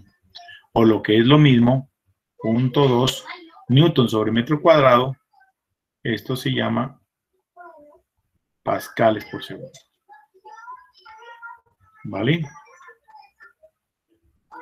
Bueno, entonces, em, ¿por qué nos interesa la longitud de la camisa y no la longitud del eje? Porque cuando usted aplique fuerza para rotar el ejecito, ¿cierto? La fuerza se va a dar es en el contacto que tenga el contacto que eh, eh, se va a dar por la fricción, digámoslo así, que se va a dar entre la camisa y el eje, ¿no? Entonces, mire, donde se va a dar esa fricción va a ser donde? En toda esta longitud, mire, todo esto. ¿Cierto? Hasta aquí, mire. Entonces, por eso debemos tener en cuenta esta, esta longitud. ¿Listo? Bueno. Entonces, decimos, potencia es igual a torque por velocidad angular. La velocidad angular ya la tenemos, mírala aquí. Eh, nos interesa entonces calcular ahorita el torque. ¿Cómo calculamos el torque? Entonces el torque, como ustedes ya lo saben, yo creo que ustedes ya pasaron por resistencia de materiales, el torque es el producto de fuerza por distancia, ¿sí o no? Fuerza por distancia.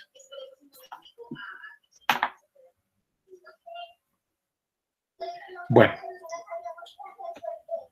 Y entonces, eh, el radio lo tenemos. Claro, mire, lo tenemos, mire, aquí está, ¿cierto? Entonces, miren, observen ustedes.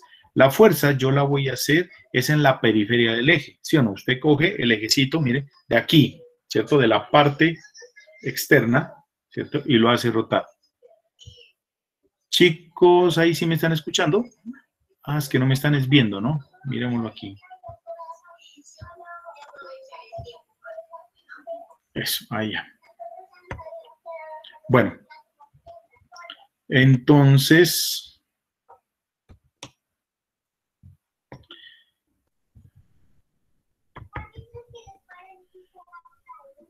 Entonces, el torque, ¿cómo se calcula? Multiplicando la fuerza por el radio y la fuerza, ¿cómo se calcula? Entonces, para calcular esta fuercita, que este viene a ser el inconveniente, porque el radio ya lo tenemos, mírelo, el radio está aquí. Entonces, ¿cómo calculamos la fuerza? Entonces decimos, mire, según la ley de Newton de la viscosidad, ¿cierto? ¿Perdón? ¿Me iba a decir algo? ¿Sería como masa por aceleración o cómo? No. Entonces, ojo, según la ley de Newton, esfuerzo cortante es igual a qué? A mu ¿cierto? Por B sobre Y. ¿Se acuerda la formulita que acabamos de, hallar? ¿Cierto?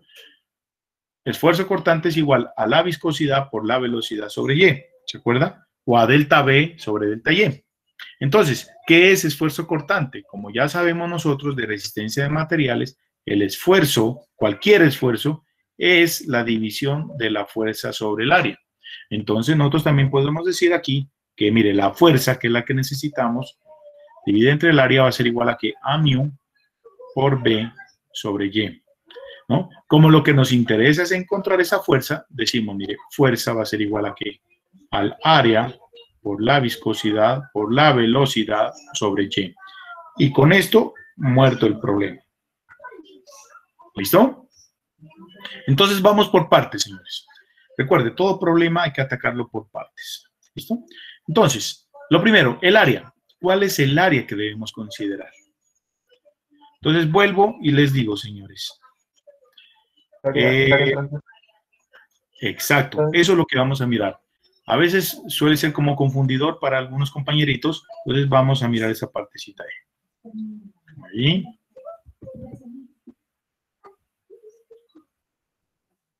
Imaginémonos que aquí está mi, mi, mi ejecito. Bueno, ahí. Ahí. ¿Listo? Entonces, eh, aquí tenemos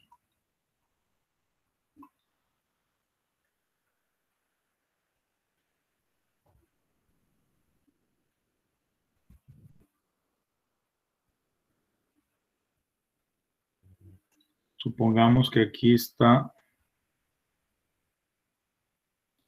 Este es en realidad el eje. ¿Sí? Y con verde dibujemos aquí el lugar en donde se va a encontrar el aceite, ¿cierto? Bueno, entonces observemos, miren señores, repito, ¿no? Que usted para hacer girar este ejecito aquí,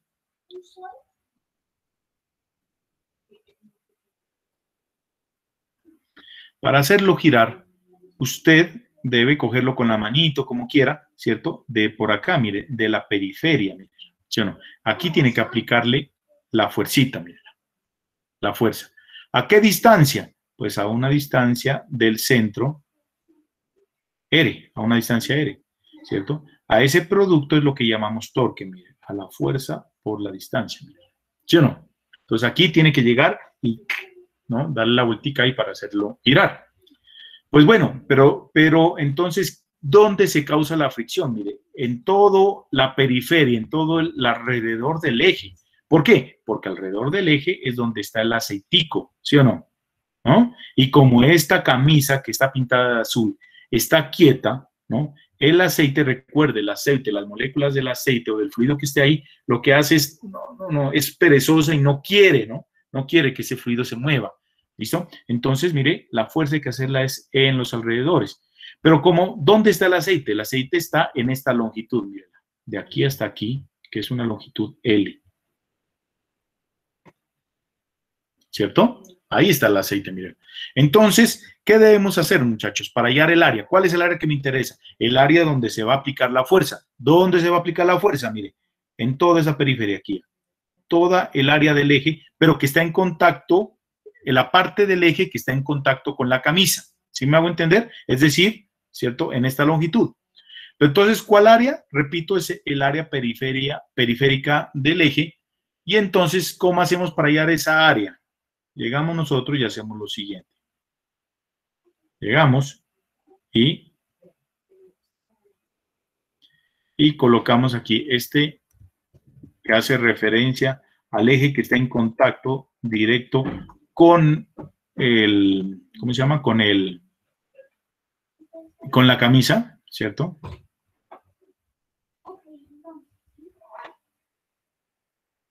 Bueno, ahí, disculparán ustedes muchachos, ahí el, el dibujito.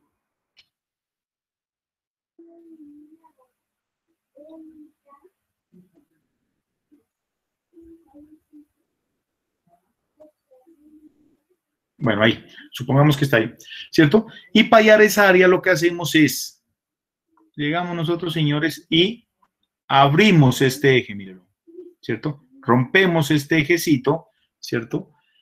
Eh, y una vez que lo rompemos, pues, mire, lo abrimos, ¿cierto? Lo abrimos ahí, ¿no?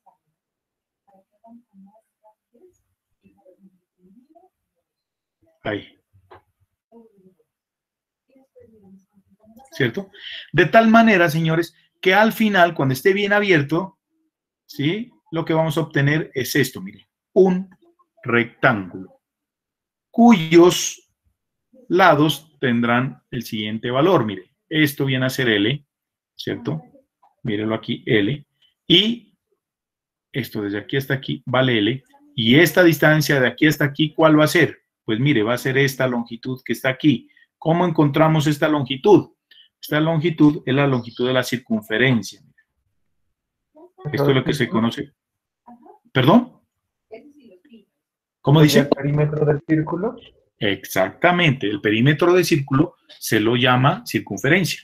Ese es el nombre que se le da al perímetro del círculo. Muy bien. ¿Y cómo se lo calcula? ¿Cierto? Derivando el área. O sea, el área del círculo es pi por al cuadrado, la derivada de eso es la circunferencia, o lo que usted dice perímetro, y eso es 2 pi r. Entonces, mira, aquí sería 2 pi r. ¿Sí se dan cuenta? Listo. Esta, señores, es el área donde está actuando la fuerza. Esta fuercita que está aquí, mírala. Esta de aquí. ¿Vale? Bueno, no sé si estoy siendo muy lógico, muy básico en esto, señores, pero me preocupa, quiero que se gane un buen puntico. Un puntico de estos va a salir en el parcial relacionado con esta parte. ¿Listo? Entonces, para que lo tengan presente. ¿Vale?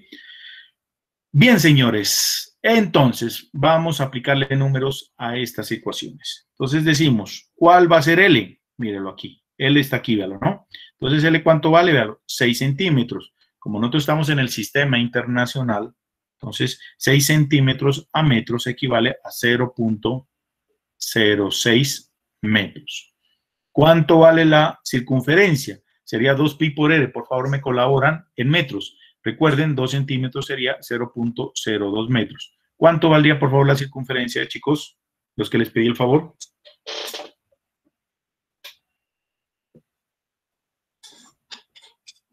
$0.1256. ¿0.12? 56. Casi 0.13, ahí sería aproximando. Vale. Vale, listo. No la voy a aproximar para que me dé de una vez el área. Entonces, ¿cuál sería el área aquí? El área, pues, sería igual a que a L por 2pi por R. ¿Y esto valdría cuánto? Por favor, me dan el valor.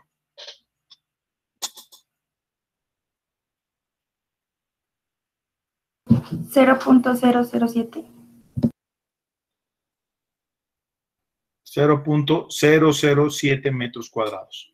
Bien, señores, ya tenemos, miren, la primera incógnita resuelta. Área. La viscosidad, ya me la está dando el problema. La velocidad, no me la da el problema. El problema me está dando la velocidad angular. ¿Cómo encontramos la velocidad lineal? Pues miren, señores, aquí hay una ecuación que ustedes deben tenerla presente.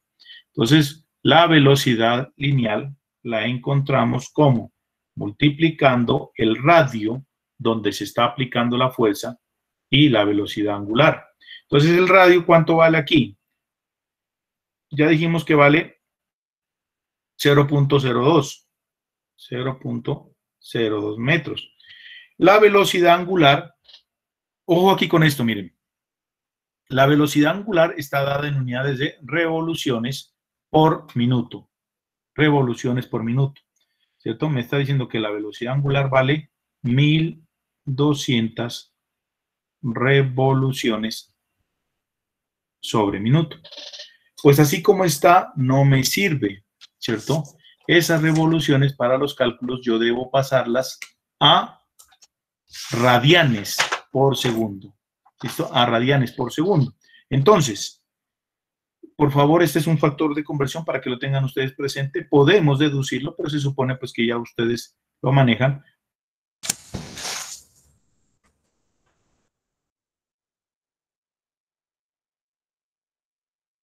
Una revolución por minuto sobre 60. Esto, segundos, ¿listo? Entonces, si quieren, la podemos reducir más. Una revolución por minuto, ¿cierto? Viene a ser igual a que a pi radianes sobre 30 segundos. ¿Listo? Por favor, para que lo tengan presente.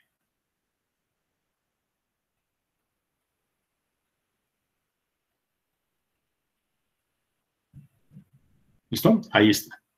Entonces, pasemos por favor esos 1200 revoluciones. Entonces, de acuerdo a eso, 1200 revoluciones, 1200 revoluciones por minuto, ¿a qué equivale en radianes? Por favor, ¿cuánto es esto? 125.66. 125.66. 6-6, ¿no? Sí, profe. Sí, profe.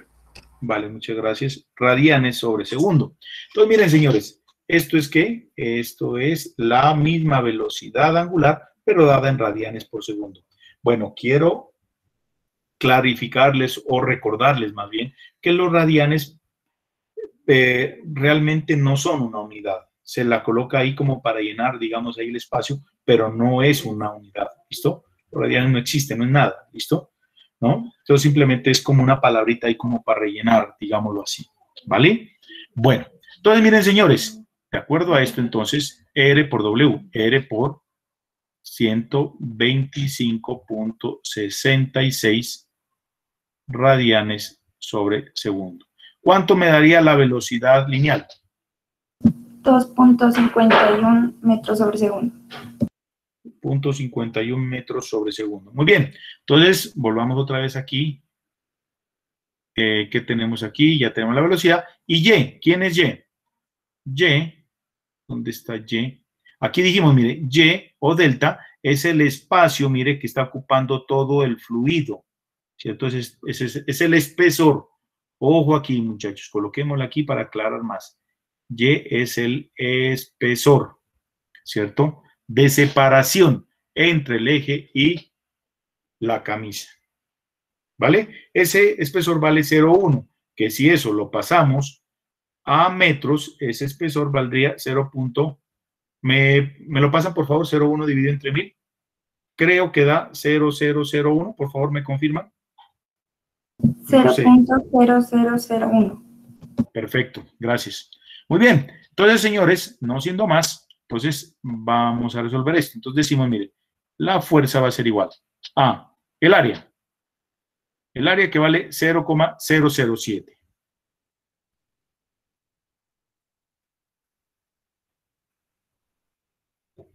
Eh, la viscosidad que vale 0.2 newton metro cuadrado por segundo. Velocidad, que vale, la velocidad que vale 2.51 metros sobre segundo.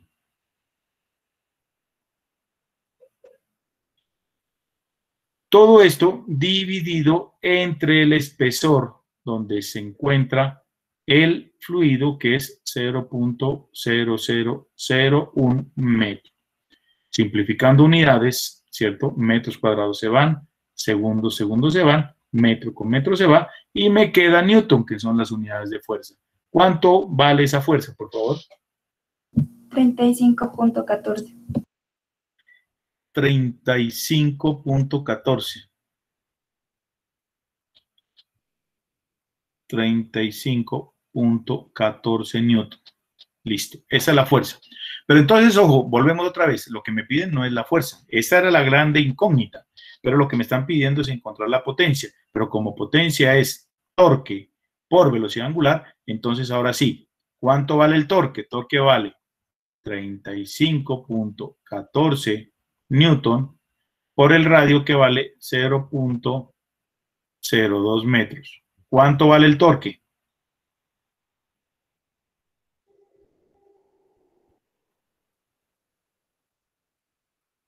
¿Aló? 0.70.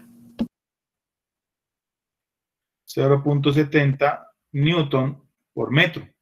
Bien, señores, entonces ya teniendo ese torque, teniendo la velocidad angular, ya podemos encontrar la potencia. Entonces, la potencia va a ser igual a 0.70 newton metro, ¿cierto? Por la velocidad angular que no la veo aquí, ¿cuánto es que vale? 125 creo que vale.